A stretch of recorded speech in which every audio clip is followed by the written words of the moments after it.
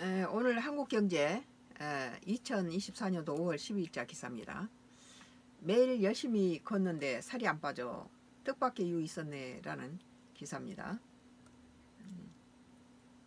어떻게 해야 지방을 효과적으로 제거하면서 운동을 할 수 있을까? 최근 유튜브 채널 당신이 몰랐던 이야기에서는 아, 현대 사회에서는 비만의 비만의 가난의 징표로 종종 묘사된다고 아, 설명했습니다. 아, 비만한 사람은 자기 관리가 아, 부족한 사람이라는 아, 이미지를 얻게 된다는 것. 열량 높고 칼로리 높은 음식은 저렴하고 건강한 음식은 비싸졌기 때문이죠. 아, 비만에는 유전적 환경적 요인이 많지만 자기 몸에 맞게 관리하는 게 중요하다고 강조했습니다. 이를 위해서 과학적 접근을 통해 지속적이고 건강하게 몸을 관리하는 게 필요하다. 그러면 어, 영양 호르몬 식단, 운동 건강을 통해 다이어트에 도움을 주는 신간 다이어트 과학이다가 추천했습니다. 다이어트는 과학이다. 어, 저자는 채찍단이라는 유튜버로 다이어트를 위해서 초고효율 운동을 해야 한다고 강조했습니다. 지방을 태우기 위해서는 인체가 사용하는 주된 에너지원인 탄수화물과 지방이며 저강도 활동을 할 때 지방을 사용하고 고강도 활동할 때는 탄수화물을 주로 사용한다는 걸 이해해야 한다는 거예요. 예를 들어 집안일, 설거지, 빨래 들어 저강도 활동할 때는 에너지 사용률은 60 내지 70% 지방을 사용하는데 어, 반면 근력 운동 혹은 달리기와 같은 고강도 운동에 가까울수록 에너지 90%를 탄수화물로 사용한다는 거예요. 그래서 지방 활동 측면에서 본다면 걷기가 다이어트에 가장 좋아 보입니다. 걷기는 지속할 수 있다는 장점도 있지만 시간 대비 사용되는 에너지량이 너무 낮, 낮고 어, 70kg 남성이 걷기를 시작 에, 1시간 1시간 소비했다면 칼로리가 280칼로리가 이거 반면 달리기를 1시간 정도 하면은 어, 500에서 800칼로리를 소모한다고 그래요.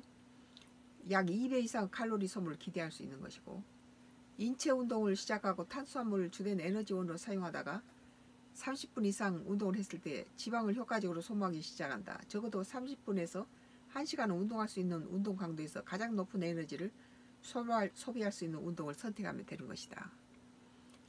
유산소 운동을 많이 한다면 체내 에너지 발전소를 할 수는 미토콘드리아 생산성이 높아지면서 어, 지방을 유산소 대사로 쓸 수 있는 능력이 점점 좋아진다. 이런 이유로 많은 전문가는 걷기나 조깅 수준의 아주 가벼운 달리기를 추천한다. 어. 이 수준으로 달리기는 최대 심박수 60에서 70 구간의 옆 사람과 대화가 가능한 수준으로 달리기다라고 말하나요? 65세 이상의 노인은 심폐지구력, 근골격계 질환 유무, 동반 질환 유무에 따라 아, 개인별 체력 차이가 클 수가 있어 주치의와 상담을 통해 걷기 시간과 강도, 속도를 정해야 된다고요. 노인들이 젊은 사람처럼 뛰면 안 되겠죠. 강 교수는 걸을 때 시선을 10 내지 15cm 전방 향하고 턱은 가슴 쪽으로 살짝 당기며 호흡은 아, 그 자연스럽게 코를 들이마시고 입으로 내쉬면 된다 하면서 자기 키에서 100cm를 뺀 복복을 일정하게 유지하고 체중은 발뒤꿈치를 시작으로 발바닥 발가락 순으로 이동시키며 걷는다. 아, 걷기 전후로 준비운동과 정리운동을 하고 예, 걷기 시작할 때 5분 정도 천천히 걷다가 속도를 올리고 끝낼 때는 또 속도를 천천히 늦춰야 된다고 그러네요. 에, 나의 건강 코멘트는 음, 예전에는 잘 먹으면 살이 쪘는데 요즘은 잘 먹으면 살이 빠진다는 거예요. 설탕, 지방, 탄수화물 등 이런 것들은 살이 찌고 에, 또 값이 싸죠. 저렴하죠. 그런데 유제품이나 생선, 과일, 채소가 요새 예, 값이 엄청 많이 올랐어요. 그래서 살이 별로 찌지는 않, 않지만 건강식이지만 요즘 이런 유 과일 채소값 음, 유제품 값이 물가가 올라서 어, 잘 먹고 살기가 힘들어졌다는 거죠. 그래서 어, 요즘은 어, 그참 너무 어, 그 가난한 빈곤하면 예, 살이 찐다. 옛날하고 이제 거꾸로 됐어요. 옛날에는 부유한 사람이 살이 많이 쪘는데 지금은 이제 가난한 사람이 자기 체격 관리를 몸 관리를 잘 안 하니까 살이 찐다는 거예요. 그리고 탄수화물 종류, 당류 종류를 먹으니까 살이 찌고 그리고 소식을 하고 운동을 꾸준히 하면 효과를 볼 수 있고 요요 현상도 오지 않으려면 식단과 운동을 지속적으로 병행해야 한다고 봅니다.